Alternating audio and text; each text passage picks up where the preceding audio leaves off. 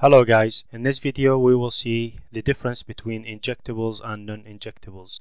Basically injectables are the uh, the classes or objects are instantiated one time and non-injectable they are every time you request them you get new ones. So this is like you have a singleton and this non-injectable is like a, a new object every time you request for it.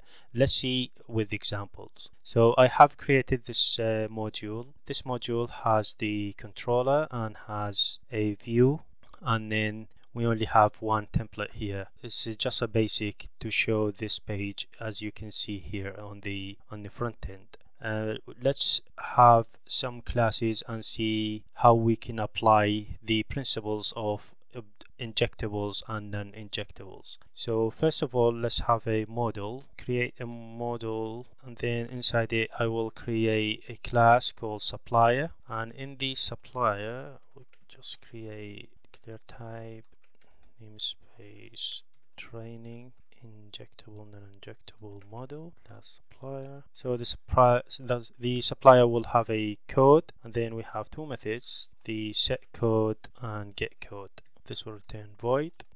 Code will return a string. Return this string this code. So basically this is just a simple class. We'll have a code and then there's two methods one to set the code and one to get the code. Now we have this class. We want to inject it and then display the content the code from the uh, front end or on the front end. So to do this I need to inject a, a view model here and then I will inject this class into the view model in order to get access to that supplier. If we just create a view model, so let's have a view model, view model example, not this one, have view model slash example and then we will have the class uh, namespace training injectables view model class example this example will implement the argument interface and then in the constructor we will have the class. I don't want to put the class straight away into the view model but I will create services. So I will have a service. Service will have supply and then your type namespace training injectable service class supply and then we'll have a supplier. Now if I put this as a supplier in the constructor and then initialize it then public function get supplier will return me a supplier. Now this supplier I will set the code here 123 ABC and then return this supplier. Now I will have this supplier inside the supply service inside the view model and then from the view model so just initialize it first and then we'll get me the supply. Get supply and we'll return a supply of course. So return this supply. Now we have this view model. We'll have a supply injected into it and the supply has supplier injected into it. The supplier is just a model and then the view model need to be set to be injected into the uh, block. So we will go to the layout and the injectables index index here. So I will have a closing tag for the block and then I will have the arguments view model will be object and then copy the view model full name and put it in here. Now we have that. What we need to do from the template we have a p tag and then I will create a input or just uh, output the uh, text. So this block get view model get supply get supplier get code. So the view model has the supply object and then the supply has the supplier within it and then the get code. Now we have these. What we need to do here now is just a flush cache cache flush layout block html and also I need to disable the full page. So cache disable full page. Now the full page disabled. Now if I refresh here I get the ABC now I want to show you what happens if I use the same class again. So the in the service there is a supply and it uses the supplier and then sets the code for it. Now if I use a demand class or service. If I use a demand and then declare type namespace training injectable service class demand. And this demand also has a supplier injected into it. So supplier supplier and then we initialize it. And also it has get supplier method and then return this supplier the difference in implementation for this one from the supply the supply sets the code but the demand doesn't set the code. It just returns the supply. Now I will inject the demand into the view model so I will have demand demand and then initialize the class and then here public function get demand demand then return this demand. Now I will use it in the template. As I use this I will use it here again but instead of having the get supply I will say get demand. Now what happens if I refresh? So let's refresh now. You can see we have the same code 123 ABC for the supplier. Why this is happens, why this doesn't give us a new instance because we only have injected this in here and then we set the code but on different service when you, we use the class again but we return it without setting the Without setting the code, it still have the code. This is because this class is injectable. We used it as injectable. Injectable will be the same class every time we ask for it. For So we ask for it in the supply and it gets us the supplier from the initialized and injected the supplier from the constructor and then we set the code here and then we return the supply. So in the first instance the supply doesn't exist then Magento will create it and then saves it in the memory. The second time in the demand class we ask for it Magento finds this class already exists then it returns it returns it to it to us. And finally in the view model when we ask for supply and demand because we ask for supply first in the template because we access the one from the supply then in the supply we set the code. And when we say get code it will get us 123 ABC as in here. The second time we ask for it, Magento finds out that this class supplier is already created, then it will get it to us. And since the code is being set in this class, then we still have the code in it this is not a, a typical usage for a stateful classes like this because this class we want to change the code every time we ask for it. So this is why we cannot treat this class as a injectable because it has it has state it has properties and they need to be set and every time you ask for them they need to be different based on the requirement. If that's the case, you don't use these as injectables. So you don't inject them as in here or in the supply as in here because they have state and if they have state every time you ask for them they will have the same state if you put them as injectable Instead, you want to treat them as non-injectable. Non-injectable is the, the class but you append factory to it. We will take an example on how to create a factory and make it non-injectable.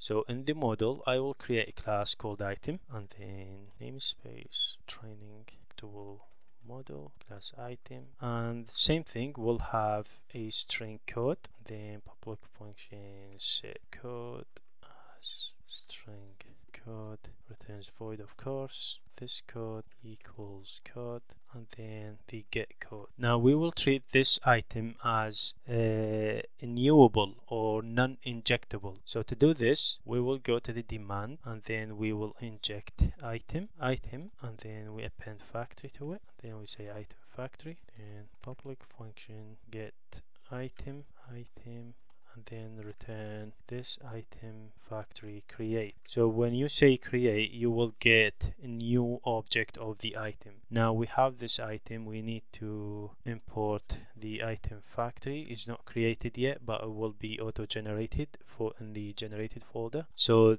this will get us the factory uh, class as a new class and the same we will have it on the supply. So on the supply we will have item again same thing factory item factory then initialize it. Now we will have public function get item return item now item item factory create item set code item 246 so this is the code for the item and then return item. Now we need to have this as a factory. Now if I go to the template I will also ask for the item. So get demand I want get supply and then get item get code. Now if I refresh the page I will get get item because in the supply the same with supplier but I set the code for the item here. Although this is a new object and is not like this as injectable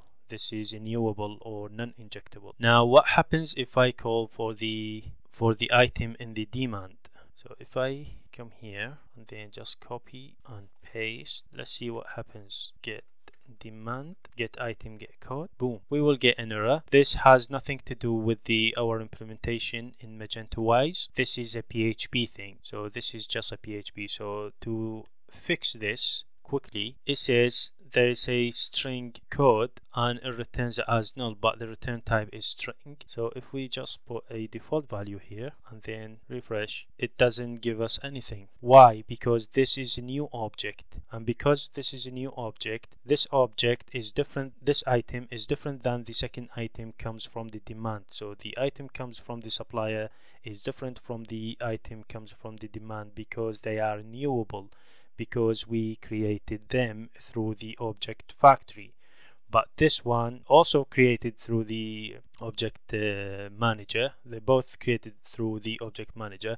But this one uses the method uh, what is called get. And this use the method create. The get will get you a singleton the same object. The create will get you a new object every time you ask for an object. Now look at what happens if we try to change the factory? So if we go to the training our training module and then go to the item factory you can see we are creating this object which is what we have here in, as a item. Now if we change if we look at the create method you see this there's a factory and is creating the type of this one. So if you go to the create method and we should have in the develop, developer we are now you can see it returns a new type or it gets it through a reflection and then create the object out of the reflection. So if you go here so you always get an instance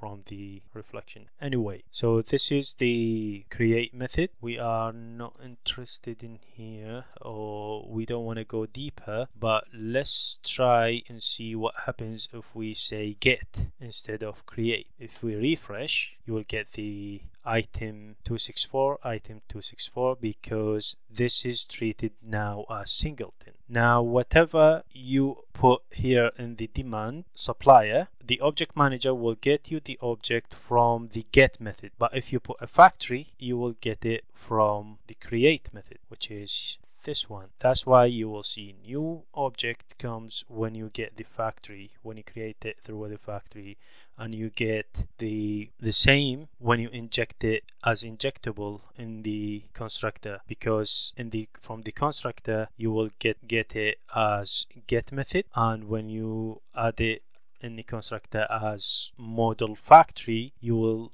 get it through the create method so the create method will get you a new object and the get method will get you the same object.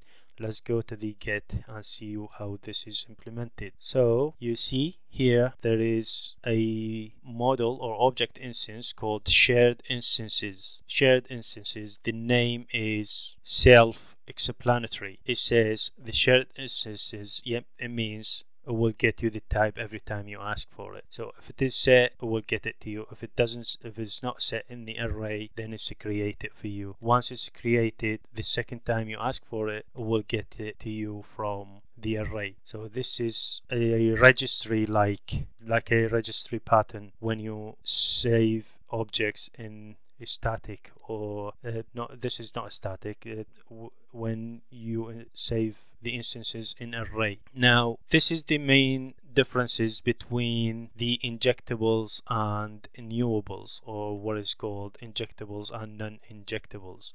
So when you have a class has a state you have to create it through the factory. So you put like a supplier factory instead of supplier you have to append the factory to it. If that's a, newable and it has state every time should have a different state from the other object. But if it doesn't have a state you will have it like this.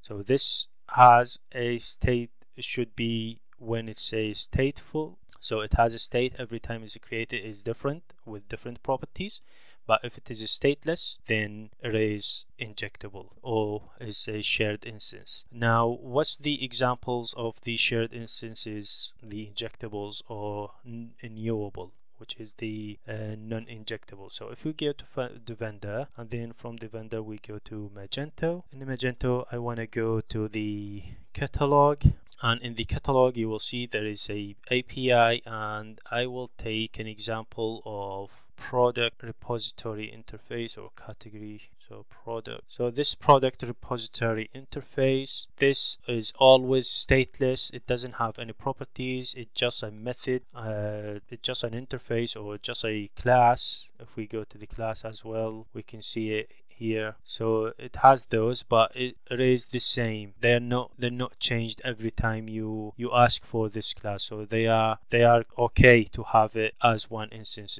instance because it only gets you the save method so you save a new object into this every time and then it give you the get method you give you the get by id it get you these bunch of uh, methods. But it's always the same class. It doesn't need to be a new class so this is a typical example of how why you would have a injectable or a shared instance as this is what this is the one the product the re product repository. If we go to the model if we give you an example of a newable you will get in the resource model from the resource model you will have a collection resource model you will have product and in the product you will have a collection. This collection will have a different properties every time you ask for it so you get it by collection factory. Also when you want to create a product uh, and then set it set its properties you also get it by product factory. So if we go to the model uh, in the model level and then you will have a product. Now we have this product then you will get it by a factory. You cannot use it as injectable. This always going to be renewable so these are the main differences between injectables and non-injectables and this is how you decide whether you have this class or this object and you want to use it as a shared instance or you want to use it in new instance every time you ask for it. I think this is it and if you find this uh, video useful please like and subscribe and I'll see you in next video.